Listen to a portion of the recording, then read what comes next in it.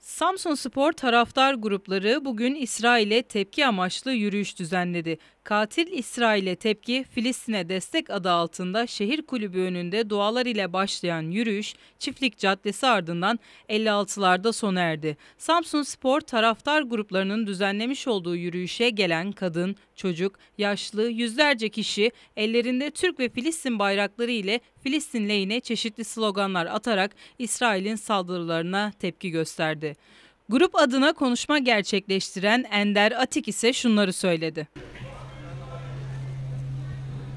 Değerli Samsunlular, kıymetli Samsun sporlular, işgalci ve katil İsrail'in Filistin'e yönelik saldırıları soykırım boyutuna ulaşmıştır. Topraklarını işgal ettiği Filistinlilerin canlarını da göz diken İsrail, bütün dünyanın gözleri önünde vahşice saldırılar düzenlemeye devam etmektedir. Avrupa'nın herhangi bir ülkesinde bir ağaçtan bir yaprak düşse dünyayı ayağa kaldıran insan hakları savunucuları Filistin'e yönelik saldırılarda adeta üç maymun oynamaktadır. Ortada bir savaş yoktur. Babalara sesleniyoruz.